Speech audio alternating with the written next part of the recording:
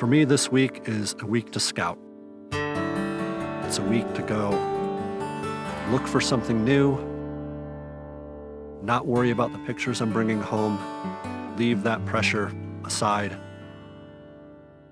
and to be out and discover.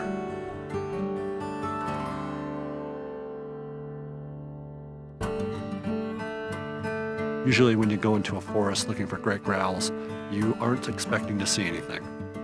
You walk around wondering, are they here? Have they ever been here? It's neat going around exploring in that way and feeling that sense of mystery. And when that moment comes when you, you do actually find them, see them, discover that they're, they're present, they've been watching, it's really a, a, an incredible moment and really the reason that I love doing the kind of work that I do.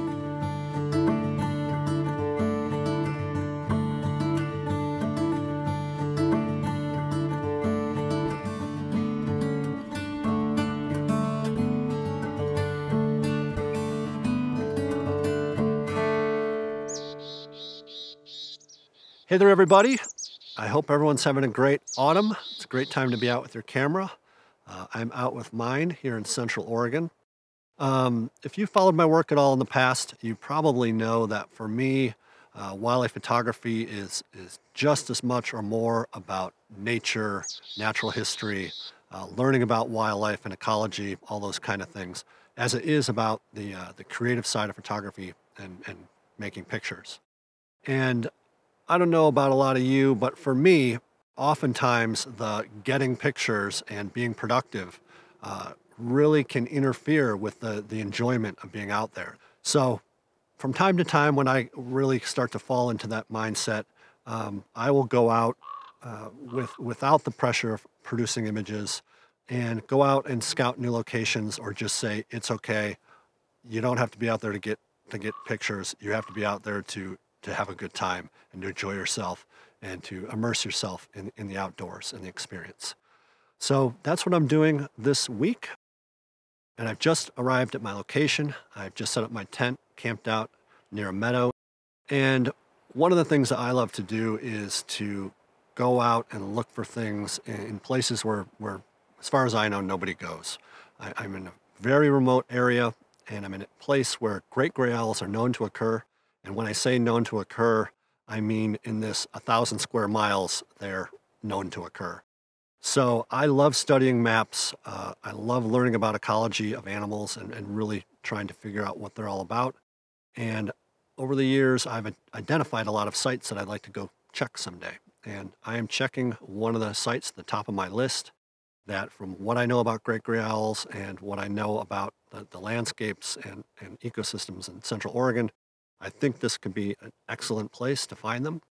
But for the most part, I'm trying to just be out here, have a good time, and trying to unravel for myself more of the mystery of the great gray owl. And I love being out in a place where nobody else is coming. I think a lot of people that are new to photography, new to wildlife photography, new to, to exploring nature, learning about nature, rely a lot on what other people tell them and on the internet to, to find locations for birds. And obviously that can be really valuable in a lot of situations. Um, but there's a whole different level from finding out where a bird is, going there, clicking your photos and leaving. You don't really gain that much. Um, what is much more valuable is really learning the ecology natural history of a species, learning about the, the ecosystems and habitats in your area or your state, and uh, really knowing the nuances of those things. And in that way, reading books, reading scientific papers, you can be much more effective at, at locating birds on your own. And when you're lucky, you can find places that nobody else goes, like this one. So before I pick up with you again and we head out into the meadows, a quick nod to like and subscribe, as always. And also, please sign up for my newsletter. I'll put a link in the description. And I've got a, a big project brewing. It's probably going to take a year to develop but it's something that I think you would be keenly interested in if you're interested in both photography and natural history. It's something some of you may even be involved in at some point if you like. Um, so sign up for my newsletter and uh, I'll see you out in the field. So I'm getting anxious and want to get out looking uh, at this habitat. So I'm going out a little earlier than I will expect to see any owls. Um, it's quite bright. I wouldn't expect a great gray owl to be out in this kind of bright light yet. A little bit about this area that I'm searching. Um, what I've got here is a, a long series of, of, forest meadows, and it's about a two mile strip of meadows, four or five large meadows, um, kind of connected by, by snaking little meandering pocket meadows and little, little corridors of meadow between them that connect them. And it's almost completely surrounded by um, contiguous ponderosa pine, lodgepole pine forest, which is the habitat great gray owls uh, prefer in this part of the world. And these type of meadows is where they spend most of their time hunting. So because there's so much uh, uh, contiguous forest around here, I think this, this strip of meadows, if there's any owls in the area, will definitely be, be one that's utilized by great grays. Um, also important for this kind of habitat is uh, hunting perches. And right here next to my camp is really a pretty classic great gray owl hunting perch. And anytime you look at one of those in a place like this, you just imagine when was the last time an owl perched there? Has an owl ever perched there? Has an owl perched there a hundred times in the last month? Uh, is this its meadow? You know, there's just so many mysteries and unknowns as you explore a place like this. But every time I see a, a perch like this, I'm definitely thinking, wow, perfect great gray owl perch.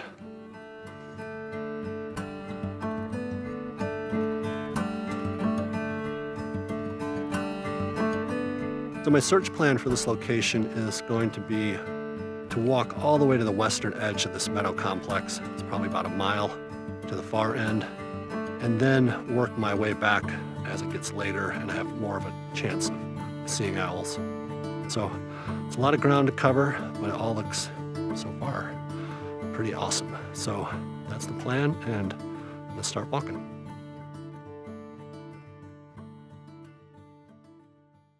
So I'm just making it out into the second of the larger meadows out here.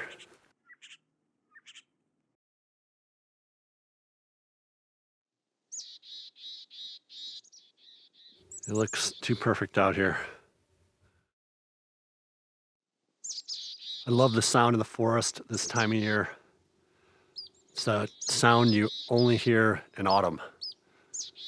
All the migrants are gone all the bird song is over. And what's left are the resident birds, the little roving bands of chickadees scolding and calling as they move through the forest, the alarm calls of Douglas squirrels, the hammering of woodpeckers you can hear from a great distance. So I'm approaching the last big meadow in my series of meadows here.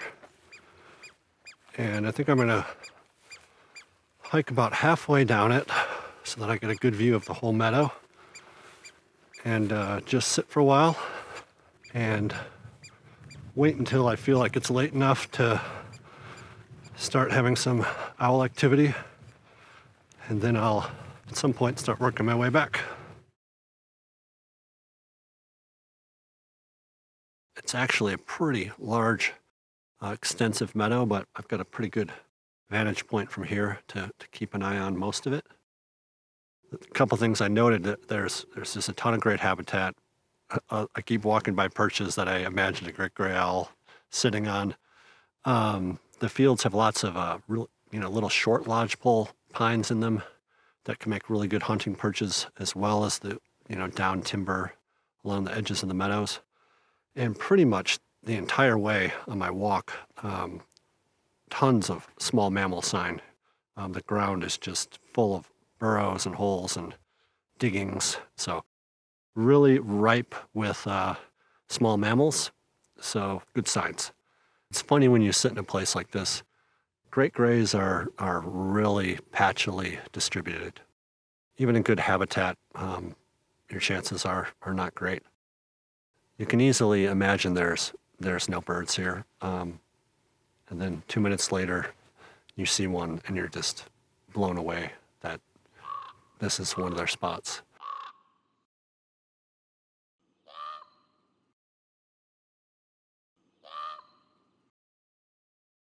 I've got a great gray.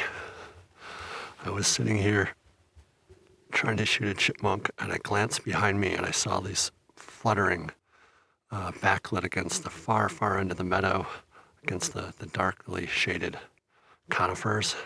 And I took a look and it's a, a great gray and he's repeatedly making short flights and then diving back down into the grass. I took a shot just to, to show you um, from a distance. It's all heat shimmer still. Sun is really quite high still. I'm surprised, but super excited. There's an owl here. So I'm to work my way up the meadow's edge really slow and easy. Not planning to get very close. If he decides to come close to me, that's great. But I'd like to get out a little closer, watch him punt. maybe get some shots of him backlit in flight against that dark bank of trees. I'm pretty satisfied that I've got enough beautiful great gray owl portraits in my life, so try to go for some stuff that's a little more unique, dynamic, different. And for the most part, that involves maybe a little wider, a little more behavior, playing with the light, some of that kind of stuff. Great gray owls primarily hunt from stationary perches They'll go from perch to perch and listen and look, mostly keying in by hearing on small mammals that are down in the grass or under the ground. They'll often kind of kite down from their perch, floating down like a kite, and then at the last second go into a little dive and uh, shoot their feet out right below their face. And they'll actually hit the ground pretty hard sometimes. So when they're hunting, they're usually on these fairly conspicuous perches, just listening intently, waiting for their next meal. He's uh, hunting on both sides of me now, so he's backlit some. Sometimes he's in front of a dark background, sometimes in front of a light background, sometimes front lit. So I'm pretty much just setting my exposure for the brightest grass out here. So that's full sunlight. And uh, I'm missing a few things for sure because of that, but uh, I think I might have gotten a couple little shots I like. Um, here he comes again. So I'm just going to keep uh, watching this bird. Oh, he's hit the ground hard. Pretty amazing.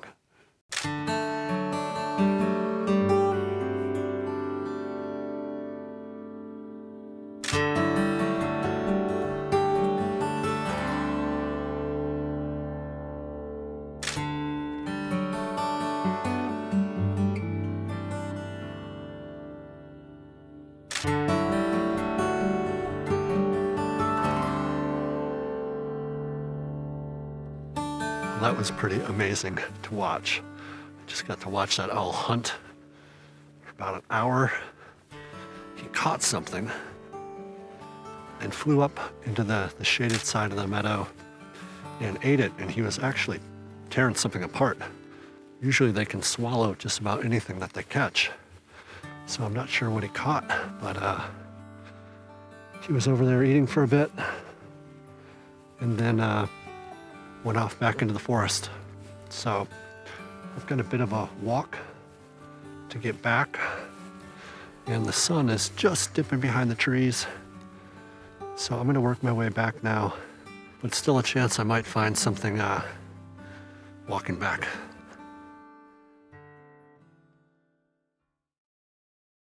Well, I just had one more little piece of magic tonight.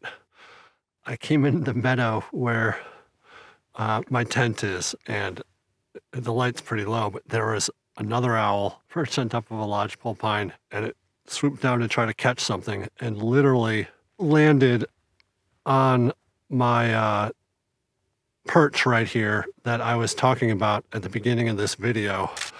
And it's, it's pretty much unbelievable. Um, yeah, it seems unbelievable, but it happened. Um, so the owl's up up on the other side of the meadow now. The right the light's really low, but the the full moon's coming up. Probably can't see it. Um, so I'm gonna go over there and watch him and uh, just sit here in my little meadow and enjoy and end the day the way I started it. Um, just loving being out here.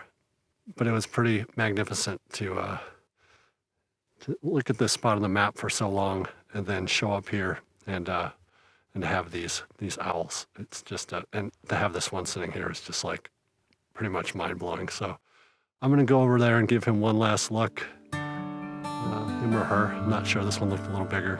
Um, yeah.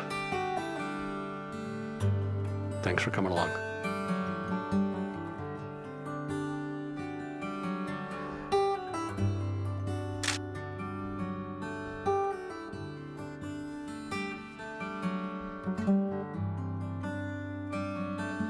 As a wildlife photographer, I have to keep reminding myself to slow down and to remember what led me here in the first place. A love of nature and the experience of being with a wild creature in a wild place. Yes, photos and being creative are important to me, but they shouldn't be allowed to diminish the experience. Years of study and intuition brought me to this place, but luck always plays a part. Luck in finding what you're looking for, and luck in being in the right place at the right time. I got lucky here. Sometimes the universe throws you a little magic when you need it most.